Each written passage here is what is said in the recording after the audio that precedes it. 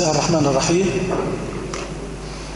الحمد لله الذي بدأ بالإحسان وأحسن خلق الإنسان واختصه بنطق اللسان وفضيلة البيان وجعل له من العقل الصحيح والكلام الفصيح منبئا عن نفسه ومخبرا عما وراء شخصه. وصلى الله على نبينا محمد خاتم الأنبياء ومبلغ أنباءه وعلى آله وأصحابه وأصفيائه. أيها الإخوة والأخوات الكرام أول ما أبدأ به الكلام تحية الإسلام. السلام عليكم ورحمة الله تعالى وبركاته. نلتقي هذه الليلة المباركة وقد تجاوزنا العشر الأول من رمضان واليوم نحن في اليوم السابع عشر من رمضان. وهذا اليوم يذكرنا بأول غزوة قام بها المسلمون ضد مشركي قريش. يقول القائل لماذا نحتفل بذكرى هذه الغزوة؟ والرسول صلى الله عليه وسلم عرف العديد من الغزوات. كذلك كانت هناك سرايا كثيرة والفرق بين السرايا والغزوات أن الغزوات هو التي شارك فيها الرسول صلى الله عليه وسلم قائدا لجيش المسلمين. أما السرية وجمعها سرايا فهي التي دارت فيها المعركة بين جيش المسلمين وجيش المشركين دون أن يكون الرسول حاضرا فيها. كان يؤمر قائدا وينطلق وينطلق الجماعة لهذا الجهاد. نحن نحتفل بغزوة بدر لأنها أول غزوة تمت بين المسلمين من ناحية وبين مشركي قريش من ناحية أخرى. وكانت نقطة البداية لبناء الدولة الإسلامية بناء متينا وسنرى ذلك أثناء ما سيأتي في هذه المحاضرة. إذا نلتقي في هذا المسجد المبارك لننظر في غزوة بدر. وأقول لننظر ولا أقول لنسرد الأحداث. لأن الأحداث يمكن أن يقرأها أي شخص في كتاب أو في يعني دراسة. لأن الغاية من إحياء ذكرى مثل هذه المناسبات الخالدة هو أخذ العبرة والدروس بما يجعل حياتنا مرتبطة بديننا الحنيف ارتباطا كبيرا كلما مرت الأيام ازداد في نفوسنا وأرواحنا متانة. كما هو معلوم فإن غزوة بدر تمت في مثل يومنا هذا أي في السابع عشر من رمضان المبارك. وتسمى أيضا بغزوة بدر الكبرى وبدر القتال ويوم الفرقان.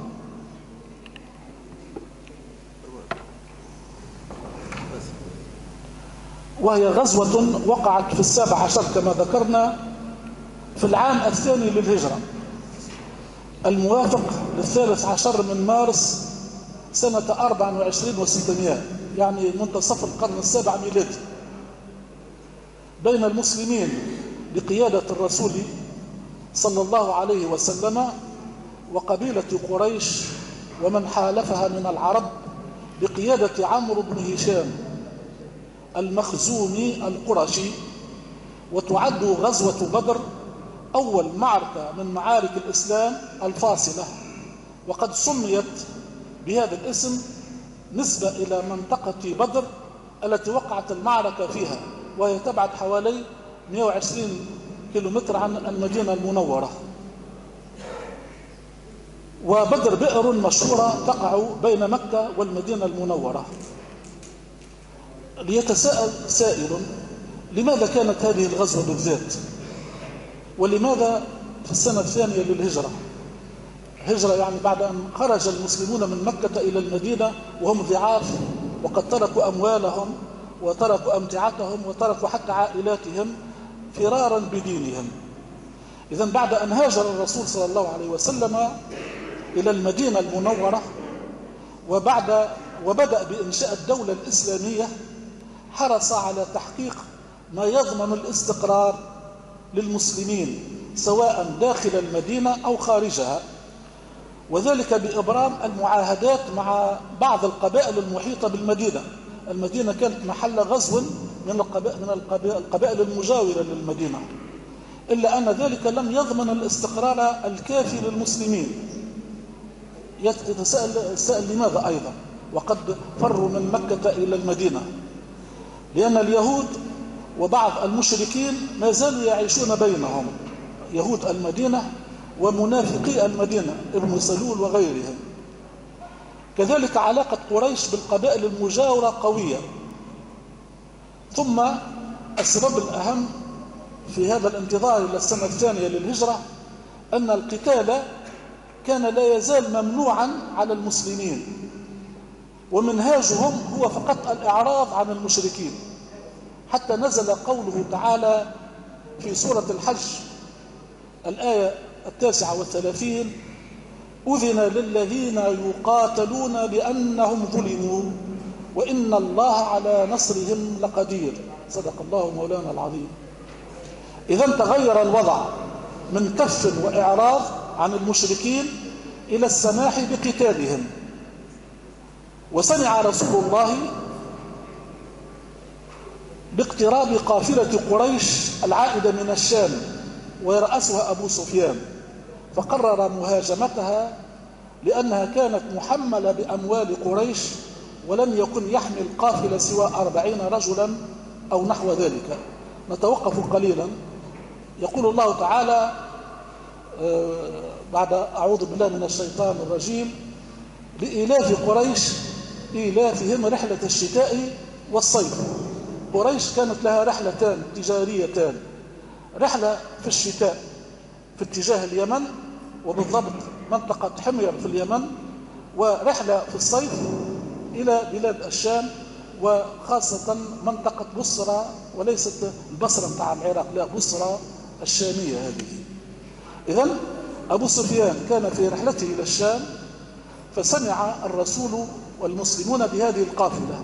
يقول القائل هل أن الرسول والمسلمون هم هنا يلعبون دورة المتصدي للقافلة مجرد يعني أنهم يظلمون يفتكون لا لأن المسلمين كما ذكرت منذ قليل لما هاجروا من مكة إلى المدينة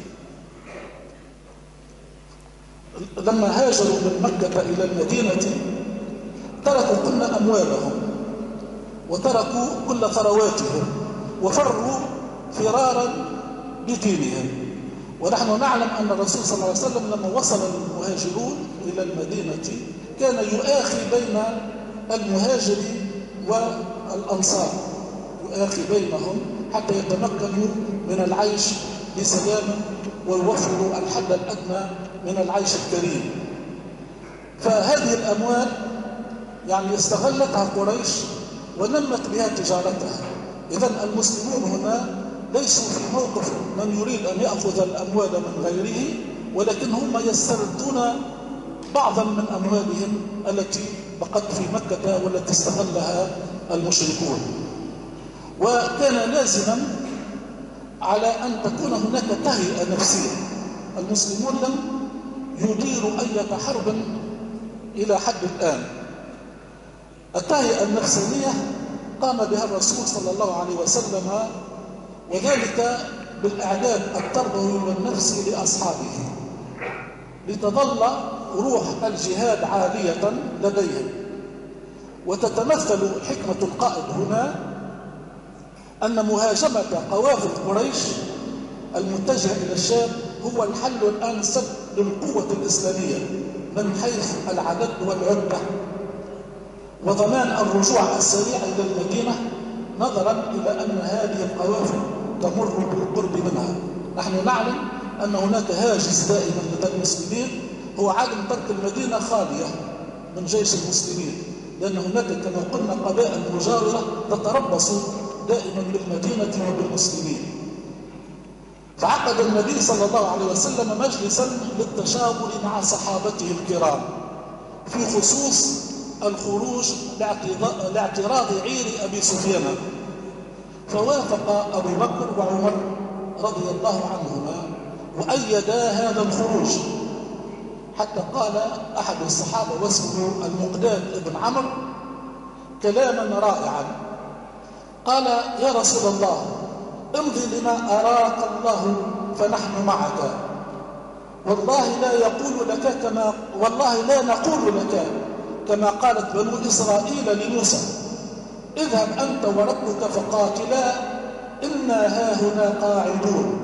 ولكن نقول اذهب أنت وربك فقاتلا إنا معكما مقاتلون.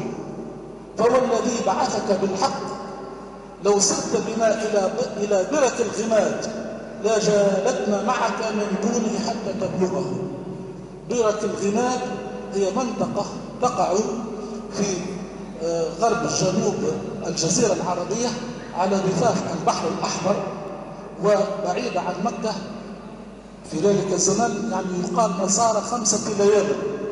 يعني ماذا يريد أن يقول يقول هذا الصحابي؟ يقول حتى ولو كانت ما ما ستأخذنا إليه مكانا قصيا بعيدا فنحن معك ولا يعني نبخل بهذا الخروج.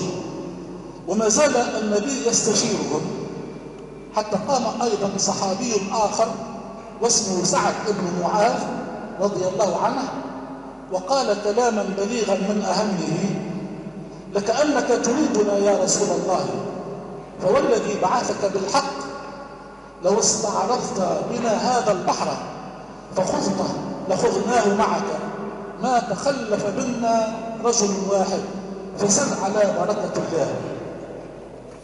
نتوقف قليلا هنا لنرى أن الرسول رغم مكانته فهو لا يستنكف من أن يتشاور مع أصحابه وأن يستأنس برأيهم.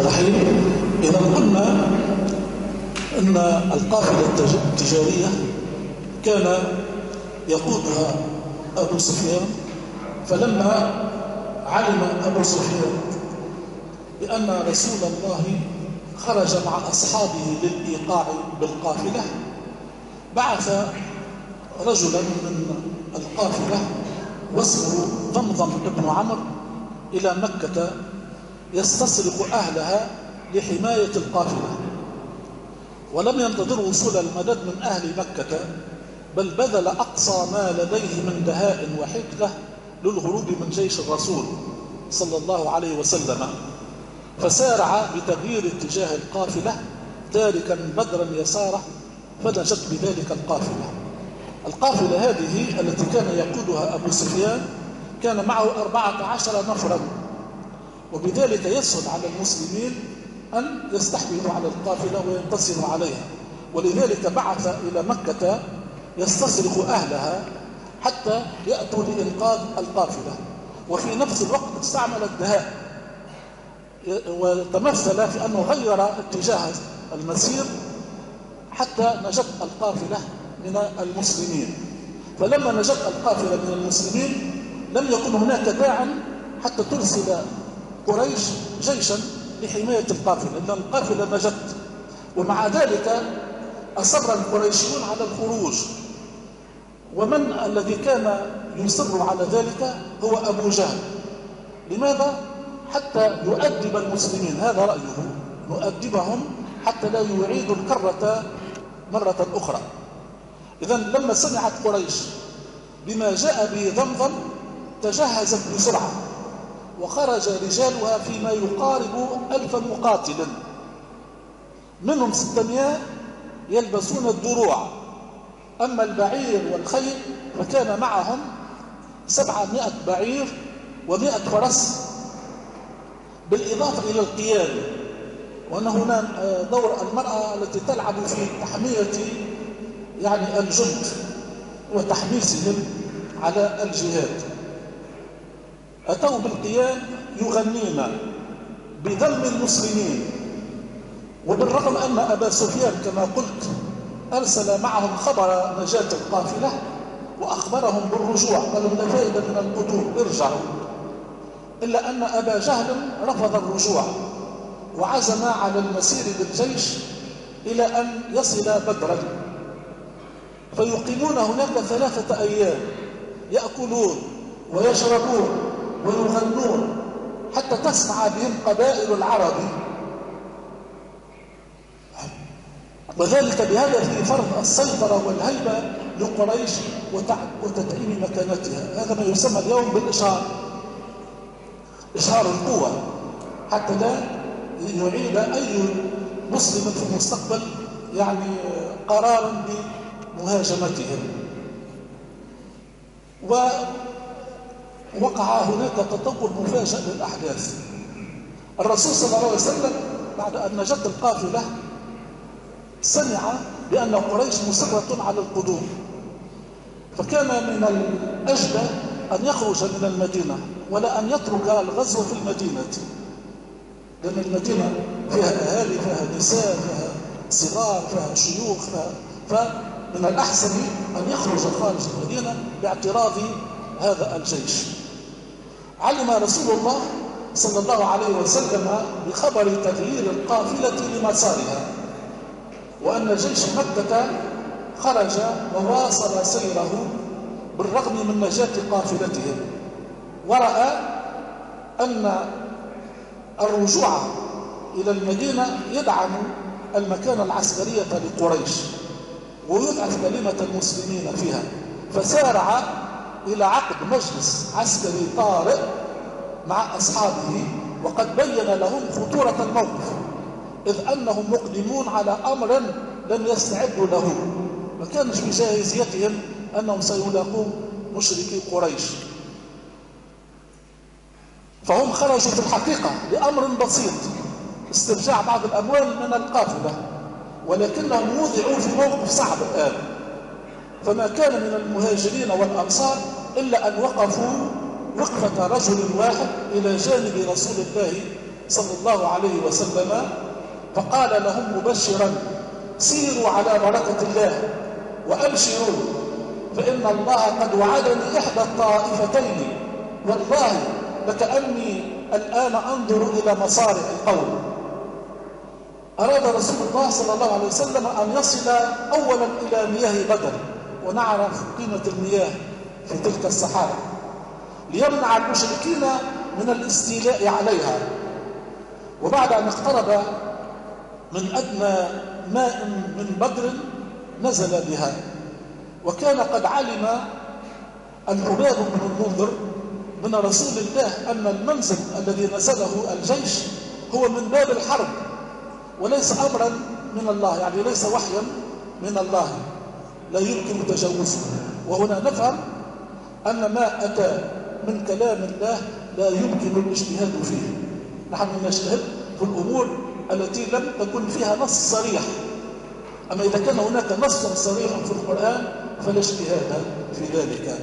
إذا لما علم بأن المسألة هي مجرد رأي غير الخطة وقبل الرسول تغيير الخطة. الخطة تتمثل في أن ينزل الجيش بأدنى ماء من المشركين ويبني هناك حوضا يملأ بالماء ليشرب المسلمون منه دون المشركين.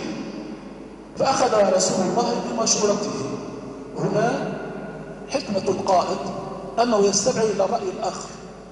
يقولش أنا رسول الكلمة الأولى والأخيرة لي. لا يستمع ويأخذ بالرأي إذا كان الرأي بطبيعة الحال صحيحا وسليما. وتحسبا للطوارئ اقترح سعاد بن معاذ بناء مقر للقيادة بهدف الحفاظ على حياة الرسول صلى الله عليه وسلم. فتم بناؤه على مرتفع يطل على ساحة المعركة وتكفل سعد مع شباب من الأنصار بحماية الرسول صلى الله عليه وسلم. بات المسلمون ليلتهم وقد امتلأت قلوبهم بالثقة والاستبشار بعطاء الله. وكان رسول الله صلى الله عليه وسلم متفقدا لأصحابه يعني ما رقدش ليلته وهو يتفقد ويجول بين صفوف المسلمين. ومذكرا لهم بالله واليوم الآخر ومتضرعا لله جل وعلا بقوله اللهم أين ما وعدتني اللهم أنجز ما وعدتني. اللهم ان تهلك هذه العصابة من أهل الإسلام فلا تعبد في الأرض أبدا. فأنزل الله في تلك الليلة مطرا خفيفا يثبت به القلوب ويطهرها من وساوس الشيطان ويثبت به الأقدام حيث إن الرمل تماسك وتلبد بماء المطر فسهل المسير عليه. وقد قال الله تعالى في هذا الشأن إذ يغشيكم النعاس أمنة منه وينزل عليكم من السماء ماء ليطهركم به ويذهب عنكم الرجس رجس الشيطان وليربط على قلوبكم ويثبت به الأقدام سورة الأنفال يعني الآية الحادية عشر وفي يوم 17 الذي هو مثل يومنا هذا من رمضان بدأ المشركون بالهجوم عن طريق الأسود ابن عبد شمس الذي حلف أقسم أن يشرب من حوض المسلمين فإن لم يتمكن هدمه فتصدى له عم الرسول صلى الله عليه وسلم حمزة ابن عبد المطلب حتى قتله وبقتله اشتعلت نار الحرب. فخرج ثلاثة من أفضل فرسان قريش وهم عتبة وأخوه شيبة ابن ربيعة والوليد ابن عقبة يطلبون المبارزة.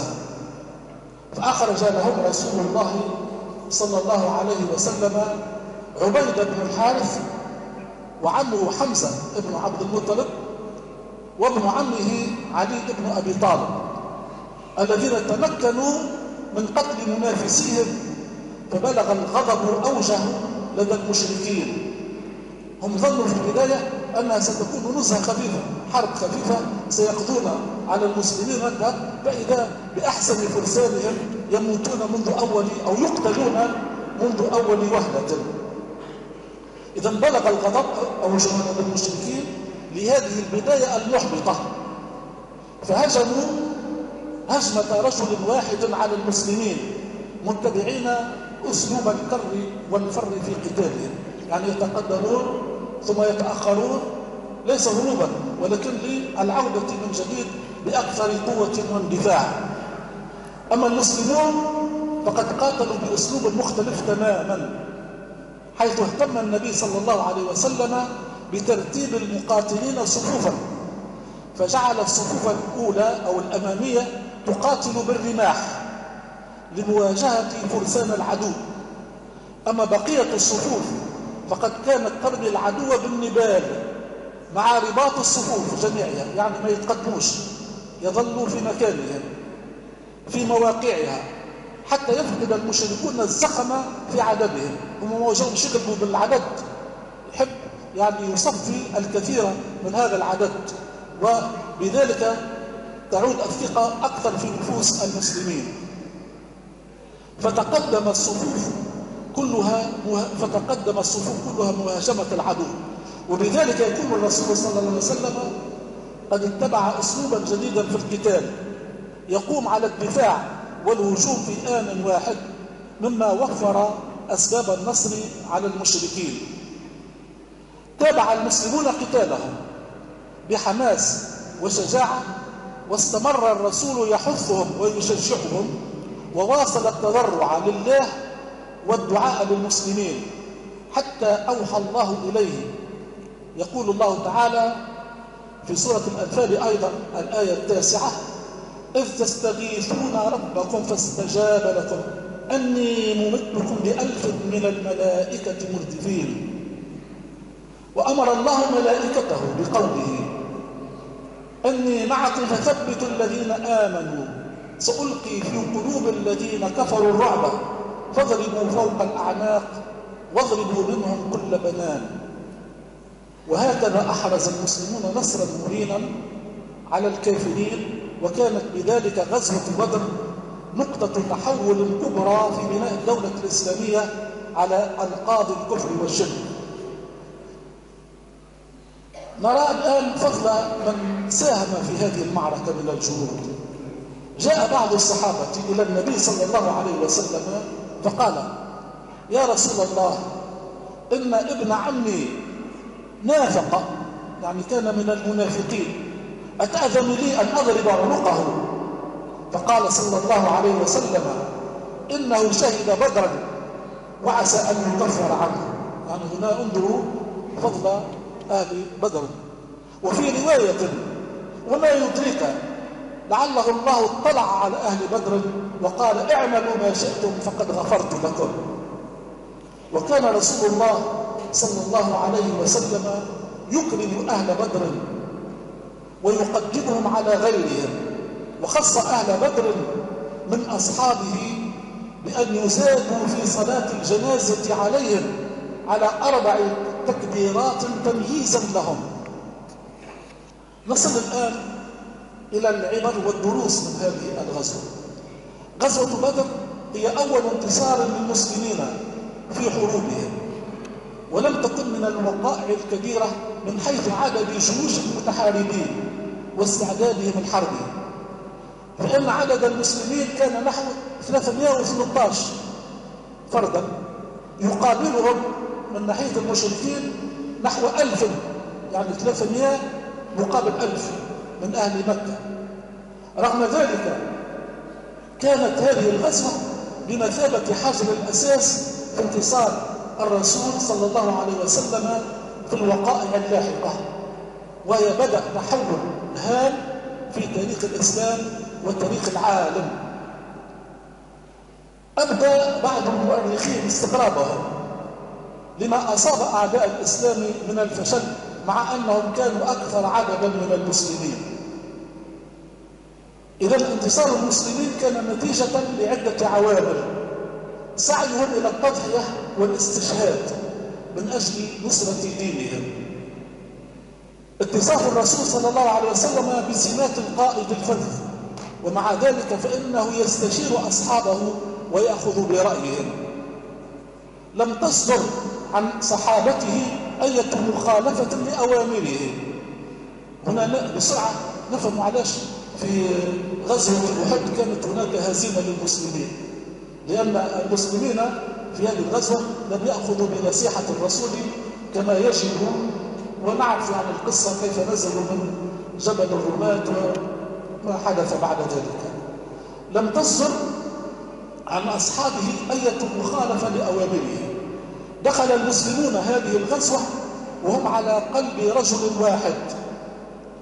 وفي الختام فإننا ندعو الله عز وجل بقولنا اللهم اهدنا في من هديت وعافنا في من عافيت وتولنا في من توليت وبارك لنا فيما أعطيت وقنا شر ما قضيت فإنك تقضي ولا يقضى عليك إنه لا يذل من واليت ولا يعز من عاديت تباركت ربنا وتعاليت. لا منجي منك إلا إليك. وصلى الله على سيدنا محمد وعلى آله وصحبه أجمعين. والسلام عليكم ورحمة الله وبركاته.